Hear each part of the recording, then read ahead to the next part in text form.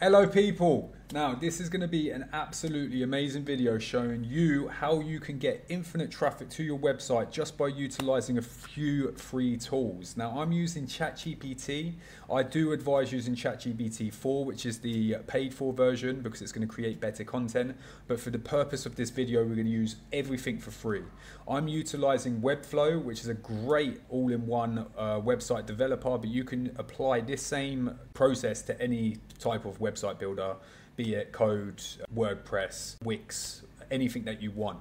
Now, the benefit of this is it's going to free up your workflow so that you can focus on what matters, and that's uh, growing your business. Now, if you're anything like me, I haven't got time to write articles upon articles, and the techniques that I've seen people using for ChatGPT just haven't been good enough to create content that is obviously human created, and it's uh, it can be seen if you read it. It looks like it's AI. So this process takes a little bit longer, no more than 15 minutes, and it's going to show you how to create really um, SEO optimized blogs that are a lot longer than what if you were to just put in one single prompt and ask ChatGPT to create one article.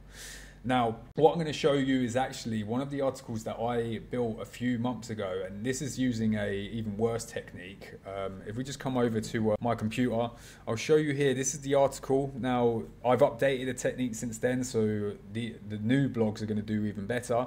But as you can see, very short, sweet. Took me no more than 15 minutes to create.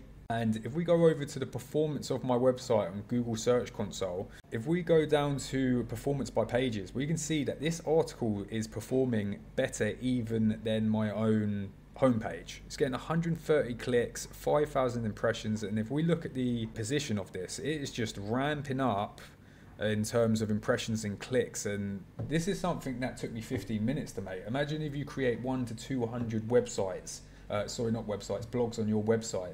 If you're selling a product, if you're selling a service, or if you're doing this for a client, you're just going to get an influx of clientele or sales. And obviously, what we want to do is make as much wealth so that we can provide for ourselves and our family and have a business that is booming.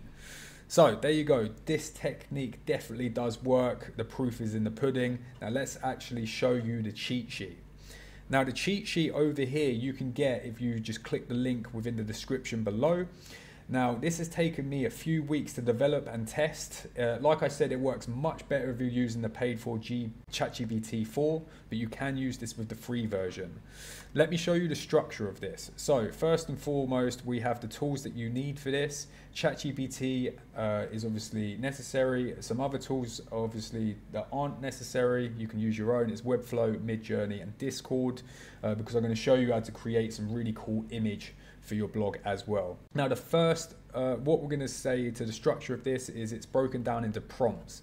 So the first one is the heading prompt. We're going to ask ChatGPT to create a list of headings, a load of keywords, and all of the key uh, sort of keyword structures that it needs to create the next thing, which is the blog outline.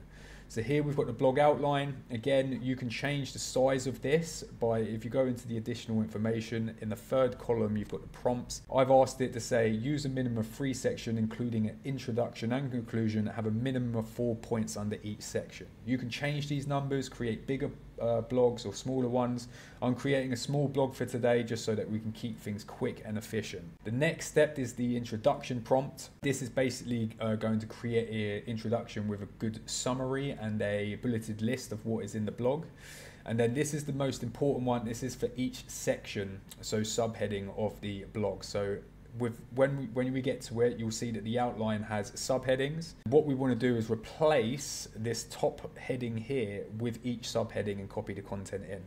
Now the orange sections symbolize content that you will need to change. Now of course you can uh, change the basic prompts because there's such things as writing tone. So for me personally, I want ChatGPT to write in a short, sweet, and SEO optimized, easy readability, and rank number one in Google type of way. I've tested out a few different uh, versions of this, but this just works for me. But the minimum basis that you need to change is uh, within the orange. So of course, in the blog section, I'm just reminding it what company I am, what I'm doing. I am in the design spectre so that it obviously tells, writes the blog for my audience. The next section is a blog FAQ, which we will show it's a brilliant piece of SEO to have in your blog, and you'll see when we get to it. And then the last one is the blog conclusion with again a prompt that you need to edit that's going to ask for your CTA, your call to action. I've asked it to obviously ask the reader to email me, but you can have this as a sign up newsletter, whatever you want. So, without further ado, let's get cracking. So, the first step, let's uh, obviously you want to update these, uh, what your business is. You want to write the blog summary of what you want to write it about. You want to write your audience, who you're writing it for, and then add some keywords just to give it the idea of what you want the article to be about. Now, of course, you can use SEMrush, Ahrefs, and loads of SEO tools uh, to do this, but if you don't have any of that, you don't need it because we're going to use ChatGPT basically to do all this for us. Now we've written this in here, you're going to see it's got the blog headings, it's picked five for us, it's got target keywords, LSI keywords, long tail keywords, and keyword synonyms. Why I've asked it to do this is because the rest of the content, ChatGPT is going to remember the information and it's going to rebrief itself every time I prompt it to ensure that it's utilizing all of these keywords uh, to remain SEO optimized. Now, of course, you can select the heading and edit it, but for speed, I'm just going to ask ChatGPT to pick the best one that it likes and now create an outline for the blog. Now I've seen people uh, just ask for normal outlines and it's, it creates a very short uh, structure for it, but I've actually told it I want to have multiple bullet points and talking points under each section. So you can see here, section one, what is ChatGPT? It's given three bullet points and then points to talk about. And then it's obviously given multiple sections along with a conclusion with points to talk about. Now, the next section we want to get to is the introduction prompt. We don't need to add anything in here. This is separate because um, we want to write this in a slightly different way, more informative. And we want to add an aim of the article and table of contents because if you do have your blog set up right, you want your table of contents to act as, act as anchors within the blog. So, this is the first part we're going to copy into our Webflow CMS. Let's grab the heading, pop that in the heading space. And now let's go to the blog summary, which we're just going to copy the first paragraph of the introduction. We're going to pop that in there. And now the rich text field, we're going to grab everything up until below the main heading and then pop this in here. Now, of course, I'm not going to take you through how I've set this up. This will be a separate tutorial if you need it. Hopefully you know where this information is going and you may have a slightly different setup to me. What is important is the ChatGPT content that we're copying in. You can put this into a Word doc, whatever you want, and supply it to your developer. But I'm just going straight into Webflow just to show you how quick and easy this is. Now you saw just there I removed the introduction text because we don't need that. Sometimes ChatGPT isn't going to be uh, flawless, so do read through the content uh, slightly just to make sure everything is correct. Now the amazing thing about this, because of the prompts, it's actually structured this within a, a mark markdown sort of way. So it's got the H2. Now sometimes you're going to have to fiddle with this. So obviously this shouldn't be a H2. This needs to be a H3. But it's good that it's already structured it in a way so that we can quickly and efficiently edit it, even if it was just plain text, it'd take a little bit too longer. Now, the next section, which is the blog section prompt, we're going to come back up to the outline and we're going to grab section one. What is ChatGPT? Let's put that into this section here now it's going to use all of the information and the bullet points before to make the content within this section. And I've actually got a prompt in here that says don't repeat any information uh, that you've spoken about before so that it keeps things more informative. Now for section one, it's going to read all of the information, look at all of the prompts, and it's going to create a complete new section that is going to be talking about obviously the first part of the outline of the blog. So what is ChatGPT? It's taken a little bit longer than normal. Sometimes ChatGPT will do this because obviously it depends how many people are using it at that time. But what you want to do is wait for this to write out the content, which you can see it is doing here. Right, now that we're back, it's actually written out the content. Uh, what is absolutely great about this prompt is if you actually read through this content, like this paragraph here, it's actually written a statistic. And if you're using ChatGPT 4, it will actually create hyperlinks to these statistics. But because we're using the free version, it's not doing that. But the prompts that I've written in uh, make sure that the content is obviously linking out. Now this is absolutely brilliant. I haven't seen other people's methods of doing this. Now again, you do need to read everything just to make sure it's right. And of course, this prompt, what it's doing is it's creating a bullet point summary of each section, which is very good for structuring within your blogs. So let's copy this first section, what is ChatGPT, and let's pop this into a blog CMS. Let's check the headings. We've got, we want this to be a H2, and then we want the blog summary to be a H3. Now, obviously what you want to do next is go through every single section of your blog outline. So number two would be boosting Webflow traffic and then pasting that into here and then copying the whole section and repeating the process so that you can get great blogs with great summaries and new statistics and everything and such like that. But we're not going to do this. This is for you if you want to make uh, longer content. I do suggest having at least six sections. But the next prompt we want to do is to create a FAQ for this blog. So we're going to create a copy in this section here and we're going to paste that into ChatGPT. And look, it is creating some really high quality FAQs. And of course, because we've asked it to write a load of keywords, uh, it's going to use these within here, which is going to boost your boost your blog's ranking. Now, again, if you depending on how you've got this set up within Webflow, you might have a special FAQ section. But for here, I'm just doing it all as text, just nice and easy because we don't want to spend too much time doing this. Get these all as H3s. Now we've got our FAQs, which are brilliant. Now, the last step that we need to do, which is great, is create the blog conclusion.